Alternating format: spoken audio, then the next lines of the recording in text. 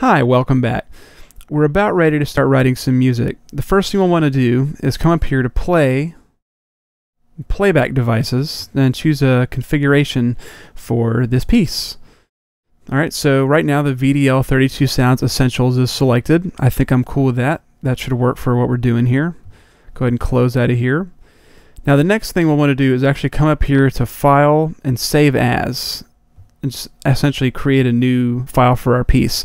And the primary reason is just so we don't affect the original template file or sort of contaminate or corrupt this file in any way, shape, or form. So you're actually always starting with a clean slate whenever you're starting with a template. So I'm going to go ahead and give mine a name, Bryan's Piece. Then we'll go ahead and click Save. All right, so now we're working on Bryan's Piece. So there's a few text items we're working with here. We've got a dedication, a title, a subtitle, and composer. So let's go ahead and give it a name. I'm to call it Bryan's Awesome Piece. Not sure if it'll be awesome uh, in the long run, but that'll work for now. And we'll give it a dedication, dedicated to you.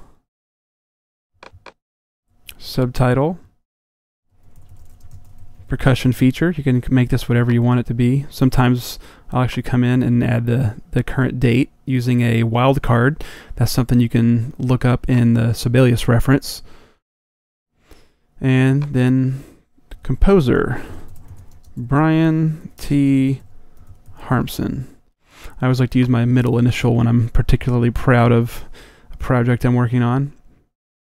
All right, so now we're ready to actually start adding some instruments into the score. So we'll first come on up here to the Create menu. You can see there's a whole slew of items here. Basically, anything you want to add to the score can be found here in the Create area. Um, bars, let's go ahead and add an extra bar to the end. We'll come back up here to Create again. And notice out here next to Instruments, there's an I. So I'm actually going to click out of here and press I on my keyboard. And that brings up the instruments menu. Now, if you're wanting to use the virtual drumline instruments in your score, you'll need to come over here to choose from and choose the VDL template 6.0b or whichever version of the template you're using. Uh, don't get that confused. The SE5 template, those are the actual sounds that are built into Sibelius, like using the essential sounds. So what we'll actually want to choose from the VDL template 6.0b.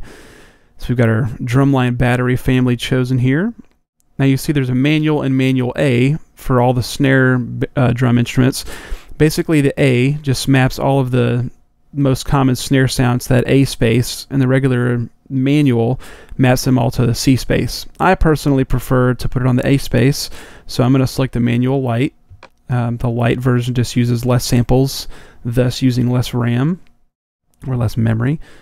Now, if you hold down Command on a Mac or Control on a uh, PC, you can actually select multiple instruments. So I've got my Command button held down here. So I've got my Tenorline manual, still holding down the Command button. Bass drum manual light. And cymbal line, 18 inches. Let's go ahead and add those into the score. Now, we're not going to want to delete this default instrument here until we've actually chosen all instruments and clicked OK. Largely because if we do that, all of these text items and some of the formatting for the piece will disappear. That's just uh, a little quirk in Sibelius, so we want to make sure we don't delete that just yet. Let's go ahead and come on over to marimbas. Let's choose Rosewood Hard Light. Let's go ahead and add that to the score. Whoops, we don't want birch. So let's go ahead and delete that. Come on over to Vibes. Let's add a hard light vibe. Then we'll scroll on down here and let's choose one of our combo instruments.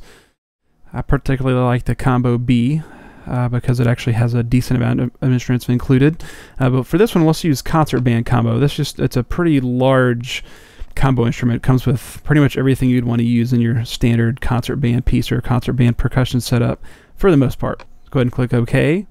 Now you'll notice that the concert band combo got stuck up here at the top, and that's just because that's the, the score order for some of these instruments. I'll go ahead and select that. Press move down, move it down here. below the vibes. And for the marimba staff, uh, we're actually going to want a grand staff. So I'm going to select the marimba staff here. Now click extra staff below. And you can see right here we've got the A out there in parentheses. That's the first staff. And then B, that's second staff. So I think that's just about enough. Let's go ahead and click OK. Now this is asking if you want the essentially the size of the score uh, to change based on the instruments that we have in there. No, I don't want that. I'm just going to go ahead and click no. There we go. Okay, so you'll notice the margin changed, and that just did that to compensate uh, for the document size we're working with here.